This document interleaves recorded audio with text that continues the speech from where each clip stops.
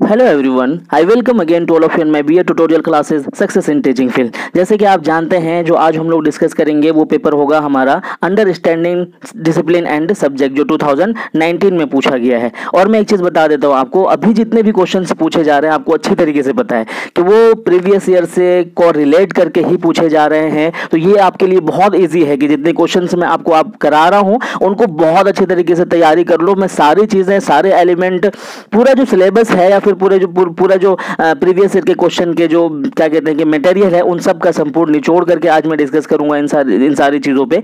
तो आपको बस ये ध्यान देना है कि किस तरीके से इसका आंसर लिखा जाए और किस तरीके से इसको कॉरिलेट किया जाए जिन बातों को मैं आज बताऊँगा।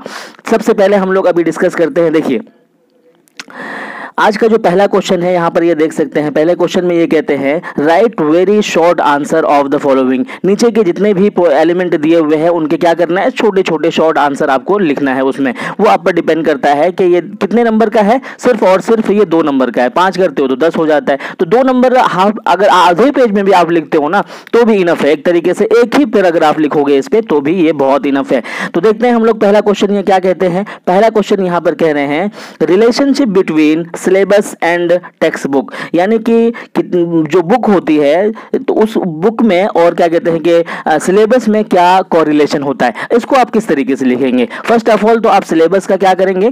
सिलेबस का डिफिनेशन बता देंगे। सपोज़ दैट के सिलेबस का डिफिनेशन क्या है? सिलेबस क्या चीज़ होती है? सिलेबस क्या चीज़ होती है? ठीक है ना? तो किसी भी पाठ्यक्रम में निर्धारित विषयों की जो एक सूची होती है ना जिसे आप क्या बोलेंगे? A list of subject that are included in a course of study यानी कि जिसमें कि हम बच्चे को कोई चीज़ पढ़ाने के लिए एक लिस्ट बनाते हैं।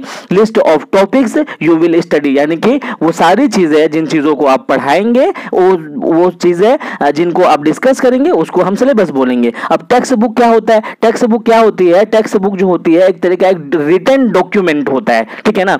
रिटर्न डॉक्यूमेंट होता है, जिसमें क्या होती है? एक स्टैंडर्डाइज फॉर्म में सारी चीज़ों को हम डिस्कस कर रहे होते हैं, है ना? सारे सब्जेक्ट को, सारी चीज़ों को हम उसमें डिस्कस करते हैं। ठीक है? तो अब ये इन्होंने क्या पूछा हुआ है? ये पूछा हुआ है इसमें इन्होंने रिलेशनशिप पूछा हुआ है, ठीक है? कि इन दोनों में क्या रिलेशनशिप होता है, वो आपको बताना है। तो ये चीज़ तो आप अच्छी तरीके से जानते हो कि सबसे बड़ा क्या होता है? सबसे पहले तो आप इसको समझ लियो अच्छे से, अच्छे तरीके से। जितने भी, सबसे जो बड़ा फॉर्म होता है, वो क्या होता है? वो होता है आपका करिकुलम ठीक है ना? करिकुलम जो होता है, वो सबसे बड़ा फॉर्म होता है। उसके बाद उसका पार्ट कौन होता है? सिलेबस होता है। और सिलेबस का पार्ट जो होता है, आपका बुक होता है टेक्स्ट बुक होता है, जिसको रिटर्न डॉक्यूमेंट बोलते हैं, ठीक है ना? तो अभी आपको यहाँ पर कोरिलेशन किसको बताना है? रिलेशन बताना है सिलेबस और टेक्स्ट बुक में। तो रिलेशन तो ऑब्वियसली है टेक्स्ट बुक और क्या कहते हैं कि आपके सिलेबस में। क्योंकि अगर आपका सिलेबस कोई भी हो, उस सिलेबस का जो बुक है, उस सिलेबस की जो बुकें हैं बुक अगर नहीं पढ़ाई जाएँगी तो आप उन चीज़ों को नहीं समझ पाएँगे, उन चीज़ों को अच्छे तरीके से नहीं पढ़ पाएँगे। ठीक है ना? तो अभी आप इसको समझ लो, जैसे कि आप बीएड का कोर्स पढ़ते हो, ठीक है? बीएस बीएड के कोर्स में जितने भी सिलेबस है टोटल सिलेबस को हम क्या बोलेंगे? टोटल सिलेबस को टोटल जो जितने भी कोर्सेज है टोटल जितने भी कोर्सेज है बीएड में, उसको हम क्या बोलेंगे? करिकुलम बोलेंगे। लेकिन अलग अलग है, जैसे कि आपका अंडरस्टैंडिंग डिसिप्लिन है, ये आपका सिलेबस हो गया। जेंडर स्कूल एंड सोसाइटी हो गया, ये आपका सिलेबस हो गया, जो उसी का एक पार्ट है। अब इन्हीं सिलेबस में, इन्हीं सिलेबस में जो आपके टॉपिक्स है, उसी टॉपिक को ध्यान में रखते हुए, जो आपकी रिटर्न फॉर्म में जो डॉक्यूमेंट तैयार की जाती है बुक तैयार की जाती है, जो सारी चीज़ों का निचोड़ होता है कि क्या पढ़ना है, कितना पढ़ना है कौन कौन से टॉपिक्स पढ़ना है, वो सारी चीज़ें आपको कहाँ से मिलता है आपको अपनी बुक से मिलता है। और जो बुक होती है, वो बुक किस तरीके से तैयार की जाती है? वो लर्नर की एबिलिटी के अकॉर्डिंग तैयार की जाती है, उसके एवेल्युएशन के अकॉर्डिंग तैयार की जाती है, उसके एक्सपीरियंसेस के अकॉर्डिंग तैयार की जाती है। तो ऑब्वियसली इन दोनों का कोरिलेशन बहुत ज़्यादा होता है, क्योंकि सिलेबस है सिलेबस है तो सिलेबस को पूरा करने आपको बुक बुक का होना बहुत ज़रूरी है टेक्स्ट बुक का होना बहुत ज़रूरी है। टेक्स्ट बुक के बगैर आप किसी भी सिलेबस को नहीं पढ़ सकते हो। आई होप कि आपको समझ में आ गया होगा, ज़्यादा दिमाग नहीं लगाना है, क्योंकि बस थोड़ा सा एक पैराग्राफ में आपको इसका आंसर देना है, सिर्फ़ दो नंबर का है। आगे देखते हैं, दूसरा क्वेश्चन ये क्या कहते हैं? Need of school subject simple है नीड ऑफ़ स्कूल सब्जेक्ट अच्छे तरीके से समझ रहे हो कि कोई भी स्कूल सब्जेक्ट है, आपका कोई भी, जैसे कि नॉर्मल सोशल स्कूल सब्जेक्ट हो गया, उसके बाद एकेडमिक सब्जेक्ट हो गया, है ना? तो ये सारे जो सब्जेक्ट होते हैं ना तो इनकी क्या ज़रूरत है, क्या रिक्वायरमेंट है स्कूल सब्जेक्ट में सब्जेक्ट स्कूल में सब्जेक्ट की क्या रिक्वायरमेंट है? तो ये तो आप जानते हो कि स्कूल में सब्जेक्ट की बहुत सारी रिक्वायरमेंट है। क्यों? क्योंकि ये हमारी लाइफ के अकॉर्डिंग सारी चीज़ों को बताता है। ठीक है? अगर मैं इसी तरीके से एग्ज़ाम्पल के थ्रू से बताऊँ कि इसमें एकेडमिक सब्जेक्ट जो होता है, जैसे कि आपके फिजिक्स हो गए, जैसे कि आपके मैथमेटिक्स हो गए है ना मैथमेटिक्स हो गए, जो कि हमारी बहुत सारी प्रॉब्लम को day to day life problem को लॉजिकल चीज़ों को सॉल्व करता है करता है कि नहीं? सपोज़ दैट कि एकेडमिक सब्जेक्ट में आप देखेंगे मैथमेटिक्स अगर बच्चा मैथमेटिक्स सीख जाता है तो क्या सिर्फ़ वो एग्ज़ाम पास करता है? अपनी लाइफ की चीज़ों को क्या सॉल्व नहीं करता है? ऑब्वियसली करता है। उसके बाद फिजिक्स सीख जाता है तो क्या उसको सारी चीज़ों की नॉलेज नहीं? तो कहने का मतलब ये है कि उसके बाद जूलॉजी पढ़ता है। जूलॉजी एक सब्जेक्ट है बोटनी एक सब्जेक्ट है, जहाँ पर नेचर लाइफ के बारे में वाइल्ड लाइफ के बारे में कल्चर लाइफ के बारे में सोशल सोशल लाइफ के बारे में। ये सब कहाँ से सीखते हैं? ऑब्वियसली सब्जेक्ट से ही तो सीखते हैं ना। तो सब्जेक्ट स्कूल का होना बहुत ज़रूरी है। विदाउट सब्जेक्ट स्कूल का कोई भी चीज़ नहीं सीखा जाएगा। सिंपल है। आपको सिर्फ़ एक पैराग्राफ में लिखना है इसको। जरा परेशान नहीं हो आप। उसके बाद हम देखते हैं नेक्स्ट क्वेश्चन ये कहता है write any two advantages of learner oriented curriculum ठीक है? ये कह रहा है कि सिर्फ़ दो एडवांटेजेस आपको बताना है जो किसके को रिलेटेड हो? एक क्या कहते हैं कि लर्नर के को रिलेटेड हो। इसको हम क्या बोलते हैं? इसको आप सिंपली भाषा में क्या बोल सकते हो? इसको सिंपली भाषा में बोल सकते हो चाइल्ड सेंटर्ड करिकुलम यानी कि जो चाइल्ड सेंटर्ड होता है उसी को आपको बताना है। तो चाइल्ड सेंटर्ड जो होता है वो क्या होता है? बच्चे की हर तरह की एबिलिटी को ध्यान में रख करके आपके सिलेबस को तैयार किया जाता है ताकि बच्चों का क्या हो सके? ओवरऑल डेवलपमेंट हो सके। आप इस, इसके कहने का क्या मतलब है? कि लर्नर ओरिएंटेड का मतलब करिकुलम का मतलब होता है कि जो पूरा करिकुलम पूरा करिकुलम जो है, सिर्फ़ और सिर्फ़ बच्चे के ही इर्द गिर्द घूमेगा। सिर्फ़ और सिर्फ़ बच्चे के इर्द गिर्द घूमेगा और बच्चों की सारी एबिलिटी को देख करके ही सिलेबस को करिकुलम को तैयार किया जाएगा। तो इन्होंने क्या पूछा हुआ है? इन्होंने ये पूछा हुआ है कि आपको कोई दो एडवांटेजेस बताना है। तो पहला एडवांटेजेस तो ये हो जाएगा कि अगर अगर जो है पाठ्यक्रम जो करिकुलम है, अगर बच्चे से कौन रिलेटेड है, बच्चे को ध्यान में रख करके बनाया गया है तो ऑब्वियसली पहला पॉइंट ये हो जाएगा कि बच्चे का ओवरऑल डेवलपमेंट होगा। दूसरा पॉइंट क्या हो जाएगा? दूसरा पॉइंट ये हो जाएगा कि बच्चे अपने एबिलिटी के बिहाव पर उसको सीख पाएँगे। तो इसमें हज़ारों पॉइंट आप लिख सकते हो, लेकिन लिखना दो ही पॉइंट है, लेकिन उस पॉइंट को लिखने के बाद में आप हज़ारों चीज़ें इसमें डिस्कस करोगे अंदर में। है ना? ऐसा नहीं कि एक लाइन में, एक वर्ड में लिख दोगे, एक पैराग्राफ अच्छे तरीके से लिखोगे, क्योंकि ये कितने नंबर का है? दो नंबर का है। उसके बाद आपका क्वेश्चन होता है डिफाइन डिसिप्लिन ठीक है ना? डिसिप्लिन क्या होता है? देखिए, एक बात समझिए मेरी बात को, मैं मैं अच्छे से बताता हूँ आपको, देखिए, अभी आपके पास जितना भी टाइम है ना, इन टाइम को यूज़ करके आप मेरा जो चैनल है, उस पर जाए।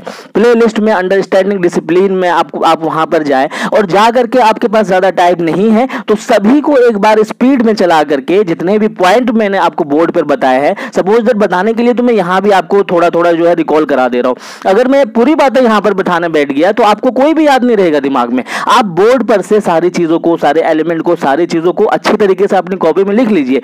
सिर्फ़ पॉइंट ही उठाकर लिख लीजिए और उसको क्या है, आज से लेकर के कल तक आप उसको सिर्फ़ रिकॉल करते रहिए अपने दिमाग में। और वही सारे पॉइंट आप जाकर के अपने एग्ज़ाम में उतार कर आ जाइए। सिंपल है ये, बहुत ईजी है आपके लिए। इसीलिए अंडरस्टैंडिंग डिसिप्लिन का जो प्ले है, आप उसको देखिए पूरी तरीके से और देखने के बाद में सिर्फ़ और सिर्फ़ जितना पॉइंट मैंने आपको बोर्ड पर समझाया है ना बोर्ड पर बहुत अच्छी तरीके से आप एक बार देख लोगे तो आपको हमेशा के आपके दिमाग दिमाग में रह जाएगा और फिर आपको परेशान होने की ज़रूरत नहीं होगी। ठीक है? क्या है क्वेश्चन यहाँ पर देख रहे हैं हम लोग? डिफाइन डिसिप्लिन इन्होंने कहा है कि डिसिप्लिन वही बात हो गई। Discipline is discipline is a subject body of knowledge अब ये तो मैंने आपको बता दिया। अब पूरी बात अगर मैं यहाँ पे बताऊँ तो भी आपको याद नहीं रहेगा। इसीलिए बच्चे, आप ना वहाँ पर जा करके डिसिप्लिन को बहुत अच्छे तरीके से मैंने समझाया हुआ है। एक एक पॉइंट को आप वहाँ पर उठाएँ। जो पॉइंट आपको अच्छा लगे, उसको आप अपनी कॉपी में नोट डाउन करके, आप अपने एग्ज़ाम में लिखे। आपसे बेहतर किसी का कॉपी नहीं रहेगा। तो ये था आपका, ये सारा चीज़ मैंने डिस्कस कर दिया आपको। उसके बाद जो आपका क्वेश्चन होता है, यहाँ पर देख सकते हैं। Write down any two emerging problem related to knowledge ठीक है? रिलेटेड टू नॉलेज जो इमर्जिंग प्रॉब्लम्स हो रही हैं अभी के अभी के टाइम में, वो किस तरीके से हो रही है, ठीक है ना? इसको बताना है। प्रॉब्लम रिलेटेड प्रॉब्लम आप सबसे बड़ा जो आज की डेट में हो रहा है problem related to self knowledge यानी कि हम दुनिया भर की चीज़ें आज की डेट में पढ़ रहे हैं, ठीक है? दुनिया भर की चीज़ें आज की डेट में पढ़ रहे हैं, लेकिन सेल्फ नॉलेज यानी खुद को समझने के लिए, आत्मज्ञान नॉलेज हम अपने आप को जानने के लिए सीख ही नहीं रहे हैं। यानी कि अपना सेल्फ स्टडी हम बिल्कुल नहीं कर रहे हैं। हमारा माइंड किस तरीके से काम करता है हार्ट किस तरीके से काम करता है, हमारा सोल क्या क्या क्या ये करते हैं। तो कहने का मतलब है कि आज की डेट में, अभी के टाइम में, अभी के टाइम में जो प्रॉब्लम इमर्जिंग हो रही है, जो पनप पनप रही है, उभर रही है। वो कौन सी है कि सबसे बड़ा जो आज का टाइम का है तो वो तो ये है कि क्या कहते हैं, हम सेल्फ नॉलेज को भूल रहे हैं, ये प्रॉब्लम हो रही हो रही है, और उसके अलावा सबसे बड़ा क्या है, उसको मानवतावादी के जो नॉलेज है, वो प्रॉब्लम आज की डेट में आ रही है, ठीक है? आपको समझ में आ गया? और मानवतावादी वाले जो प्रॉब्लम है, आज हम लोग इंसानियत नहीं सीखते सीखते हैं ह्यूमिनिटी नहीं सीखते हैं। तो ये दो दोनों बड़े प्रॉब्लम आप अच्छे से आपको वहाँ से भी प्ले लिस्ट में मिल जाएँगे और अच्छे से सारी चीज़ों को डिस्कस कर पाएँगे, ठीक है ना? ये ये है आपका हिंदी में वही जो समझाया हुआ है, वहाँ ऊपर हिंदी में है। आप इसको, ये क्वेश्चन भी आपके पास में होगा ही। अब हम आगे बढ़ते हैं, ठीक है ना? यहाँ पर ये कह रहे हैं कि, ये देख सकते हैं आप answer any two short answer type question ठीक है? शॉर्ट आंसर टाइप क्वेश्चन फिर से आपको देना है, ठीक है? पाँच क्वेश्चन करना है, यहाँ देख सकते हैं आप, और जिसके जो नंबर होंगे, दो होंगे तो इस तरीके से पाँच करेंगे तो आपको फिर से दस नंबर मिलेंगे। तो ये सिंपल है, बहुत सिंपल है, आपको इतना इजी के लिखने के लिए बोल रहा है। एक पैराग्राफ आधा पैराग्राफ आधी कॉपी आधी पेज भी लिखेंगे तो आपको बहुत बेस्ट नंबर मिलेगा। अभी हम क्वेश्चन देखते हैं कि ये क्वेश्चन में क्या कह रहे हैं, ठीक है ना? देखिए, ये कह रहा है कि give a brief account on the recent development in language curriculum with special reference to India ठीक है ना? ये कह रहा है, ये, इसको ध्यान दो आप। ये ये जो क्वेश्चन है ना, आपको ध्यान देने वाली क्वेश्चन है ये। लैंग्वेज करिकुलम वाली बात की है इन्होंने। यानी कि इन्होंने क्या बात की भाषा पाठ्यचर्या। भाषा पाठ्यचर्या, हिंदी में क्या बोलेंगे? वर्तमान भारतीय परिप्रेक्ष्य में भाषा पाठ्यचर्या का संक्षिप्त वर्णन कीजिए। तो कहने का क्या मतलब है? ये कह रहे हैं कि डेवलपमेंट लैंग्वेज करिकुलम इसी बात को पकड़ो बस, आप ज़्यादा परेशान हो जाओगे नहीं तो। डेवलपमेंट लैंग्वेज करिकुलम है ना इंडिया में इस तरीके से किस, कितना हो रहा है, हो भी रहा है कि नहीं हो रहा है, किस तरीके से हो रहा है ब्रीफली आप बताएँ। तो ऑब्वियसली बच्चे, आज की डेट में हमारे इंडिया में लैंग्वेज का क्या डेवलपमेंट हो रहा है कि नहीं हो रहा है? कल की डेट में हम क्या करते थे कि एक ही रूढ़ीवादी की तरीके से हम लैंग्वेज सीखते थे। सब कोई संस्कृत को लेकर के बैठे हुए थे, कोई प्राकृत को लेकर बैठे हुए थे, है ना? कोई भ्रंश को लेकर के खड़ी बोली को, कोई उर्दू को लेकर के, लेकिन आज का डेट जो इतना ज़्यादा बेस्ट हो गया है इंडिया के कॉन्टेक्स्ट में हम लोग बात कर रहे हैं कि आज के डेट में हर कोई चाहता है कि मैं भी हिंदी सीखूं, हर कोई चाहता है मैं भी इंग्लिश सीखूं, मुझे भी उर्दू आए, मुझे भी मल्टी लैंग्वेजेस आए। तो ये जो डेवलपमेंट है ना आज के डेट में इंडिया के कॉन्टेक्स्ट में अगर देखा जाए तो हर बच्चा लैंग्वेज को बहुत ज़्यादा से ज़्यादा लैंग्वेज को सीखने की कोशिश करता है। तो ये चीज़ भी आप बहुत आसानी से लिख दोगे कि लैंग्वेज की आज की डेट में बहुत ज़्यादा ज़रूरत है बच्चे ज़्यादा से ज़्यादा लैंग्वेज सीखने की रिक्वायरमेंट करते हैं और बच्चे क्या कहते हैं मल्टी लैंग्वेजेस बोलने की भी कोशिश करते हैं और आज की डेट में बच्चे बोलते भी है और टीचर भी मल्टी लैंग्वेजेस बोलते हैं आज की डेट में, ठीक है ना? तो ये था आपका यहाँ यहाँ से आंसर जो है लिख लेंगे आप बहुत आसानी से। तीसरा क्वेश्चन देख, देखते हैं। Differentiate between academic discipline and school subject ठीक है ना?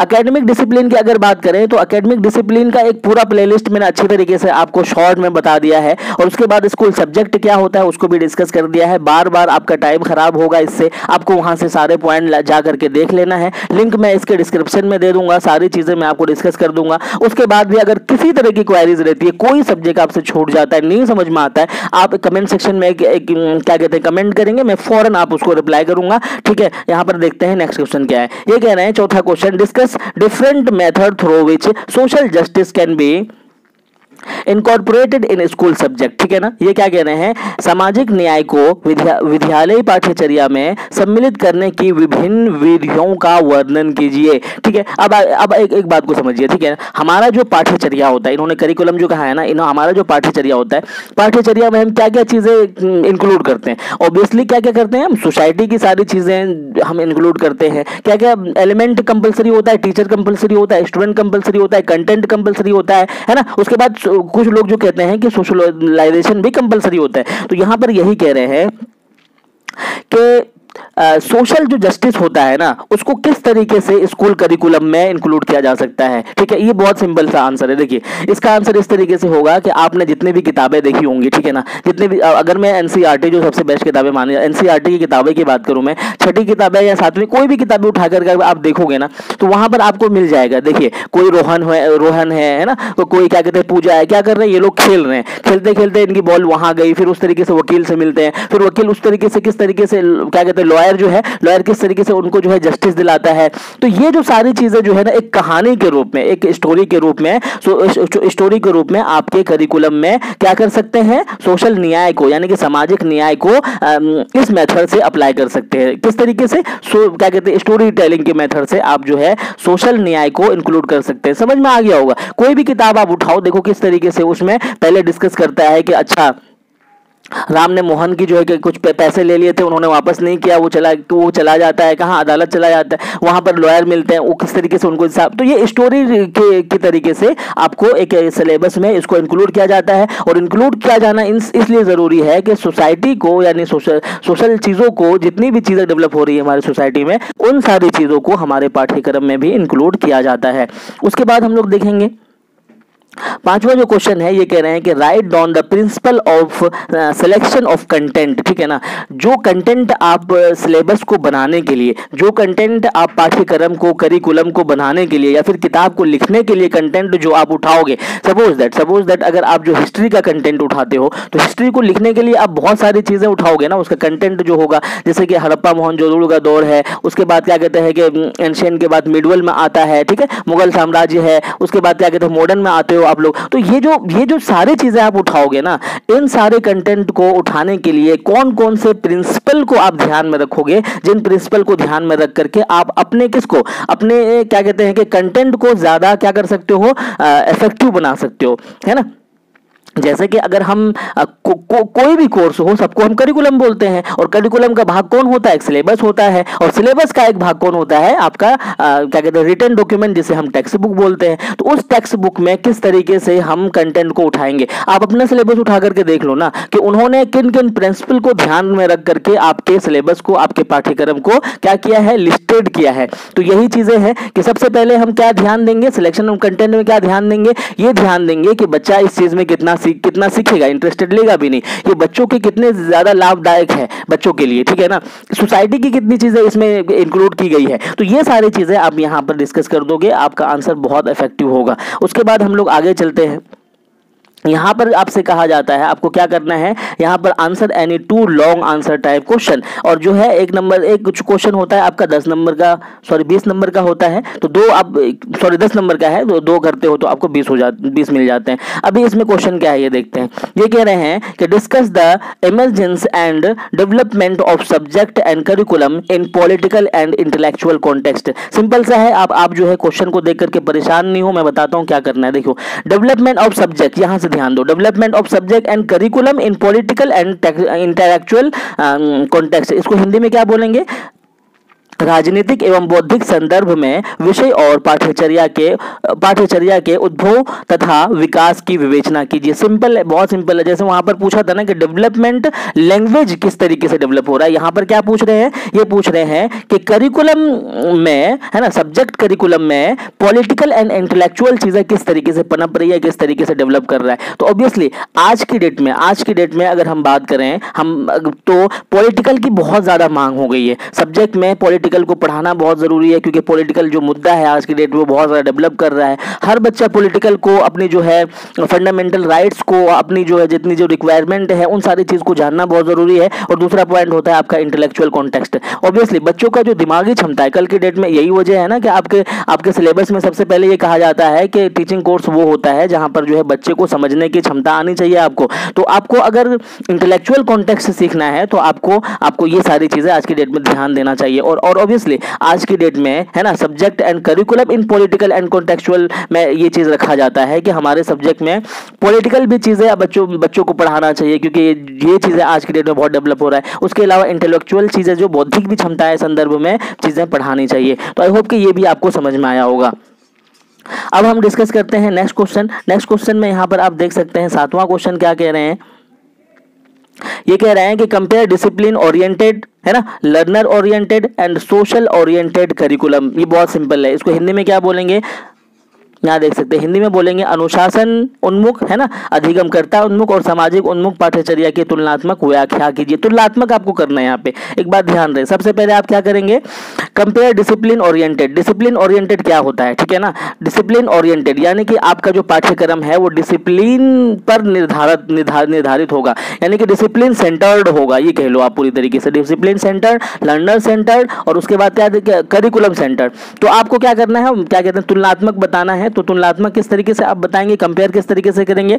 जैसे कि लर्नर ओरिएंटेड है है ना? क्या कहते हैं कि आपका जो है चाइल्ड सेंटर्ड है। तो चाइल्ड सेंटर आज के डेट में बहुत ज़रूरी है। उसके बाद डिसिप्लिन सेंटर्ड है, वो भी बहुत ज़रूरी है। सोशल ओरिएंटेड करिकुलम की बात करें तो वो भी बहुत ज़रूरी है। ठीक है ना? तो ये सारी चीज़ें आपको वीडियो में अच्छे से मिलेगा। वीडियो बहुत ज़्यादा लेंथी हो रहा है। वहाँ से आप सारे पॉइंट को उठा करके लिख पाएँगे। इसमें बहुत ज़्यादा परेशान होने की ज़रूरत नहीं है। एक ही चीज़ रिपीट हो रहा है बार बार अभी हम लोग नेक्स्ट डिस्कस करते हैं। देखिए नेक्स्ट में क्या कहते हैं? आठवां question throw light on the recent development है ना occur in social science and natural science curriculum in India context ठीक है? सिंपली ये पूछे हुए हैं कि अभी के टाइम में सोशल साइंस की कित, कितना डेवलपमेंट हो रहा है और नेचुरल साइंस कितना डेवलपमेंट हो रहा है? तो ये चीज़ आप अच्छे से लिख पाओगे। ये चीज़ इसी इसी टॉपिक से मैंने आपको अंडरस्टैंडिंग डिसिप्लिन में जो प्ले लिस्ट है वहाँ पर इसी टॉपिक से इसी नाम से मैंने आपको प्ले लिस्ट में बनाया हुआ है। तो इसी नाम से आपको टॉपिक भी मिल जाएगा और इसको अच्छे तरीके से आप लिख भी पाओगे। और वैसे भी ये दस नंबर का है तो आपको ज़्यादा से ज़्यादा चार पेजेस छः पेजेस आपको लिखना कंपलसरी है। तो ये चीज़ें आप वहाँ से उठा करके, सारे एलिमेंट को उठा करके अपनी कॉपी में लिखें और लिख करके वहाँ पर आप जो है डिस्कस कर दें, बहुत ईजी रहेगा आपके लिए। नवा क्वेश्चन देखते हैं, क्या कहते हैं ये? Critically analyse the analyse the growing need for interdisciplinary knowledge in secondary school curriculum interdisciplinary knowledge वही मैंने इससे पहले भी जो क्वेश्चन पूछा हुआ है है ना? एकेडमिक डिसिप्लिन इंटरडिसिप्लिन वहीं पर मैंने ये चीज़ें भी बहुत अच्छे से डिस्कस किया हुआ है।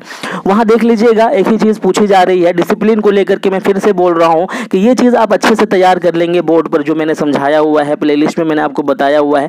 अकेडमिक डिसिप्लिन और इंटरडिसिप्लिन अच्छे तरीके से देख लेंगे। वहाँ पर मैंने आपको समझा दिया और यहाँ पर आपको सिर्फ़ क्या करना है सेकेंडरी स्कूल करिकुलम के कोरिलेट आपको कर देना है सिंपली है ये। बस आपको समझ में आना चाहिए कि अकेडमिक डिसिप्लिन क्या होता है और किस तरह से ग्रो कर रहा है आज की डेट में। ठीक है ना? अकेडमिक डिसिप्लिन में जैसे मैंने आपको बताया था कि फिजिक्स आता है मैथमेटिक्स आता है तो ये लिस्ट भी मैंने आपको वहाँ प्रोवाइड करा दिया है, वहाँ से आपको सारी चीज़ें बहुत आसानी से मिल जाएँगे। उसके बाद जो है हम लास्ट क्वेश्चन डिस्कस करते हैं। लास्ट क्वेश्चन ये है कि discuss in detail about the media which reinforces gender role in the society with suitable example आपको एग्ज़ाम्पल देख करके बताना है। यहाँ पर हिंदी में क्या बोल लैंगिक विभिन्नताओं की स्थिति समाज में निर्धारित करने हेतु तो, है ना? सर, क्या कहते हैं कि जनसंचार माध्यमों की भूमिका का उपयुक्त उदाहरणों सहित वर्णन कीजिए ठीक है? अब सिंपल है बहुत सिंपल है। आप बहुत ज़्यादा लिख सकते हो इसमें। दो तीन पेज तो इसी में लिख लोगे। देखो सिंपल किस तरीके से। हमारे जो सोसाइटी है, हमारे सोसाइटी में जेंडर का जो रोल प्ले कर रहे हैं, बहुत लोग कर रहे हैं, फैमिली भी कर रहे हैं ना? उसके बाद क्या कहते हैं कि सोसाइटी भी खुद कर रहा है है ना? टीचर कर रहे हैं स्कूल कर रहे हैं। सभी कोई करते हैं, लेकिन मीडिया किस तरीके से रोल प्ले करता है? फॉर एग्ज़ाम्पल देकर के आपको बताना है, ठीक है? मीडिया किस तरीके से रोल प्ले करता है? तो मीडिया में तो आपके सब आ जाते हैं ना? कोई क्या कहते हैं कि आपका क्या कहते हैं टेक्नोलॉजी मीडिया आ जाता है, आपका प्रिंट मीडिया जैसे कि आपको अखबारों की अगर बात करें तो अखबारों में अगर आप देखेंगे न्यूज़पेपर की अगर बात करेंगे तो न्यूज़पेपर अगर आप देखेंगे तो वहाँ पर बहुत सारी चीज़ें आपको देखने के लिए मिल जाएगा, ठीक है ना? तो न्यूज़पेपर में क्या है कि अगर कोई क्या नर्सिंग का काम है तो देखिए, वो लड़कियाँ कर रही हैं वो, है ना? उसके बाद क्या कहते हैं टेनिस का काम है तो लड़कियाँ कर रही है तो वो लड़कियों का फ़ोटो दिया हुआ है, ठीक है? उस तरीके सपोज़ दैट कि अगर खेती खेती करने करने वाली बात की है तो वहाँ पर उन्होंने क्या किया है किसी मतलब कि महिलाओं की पिक वहाँ पर लगा दी है।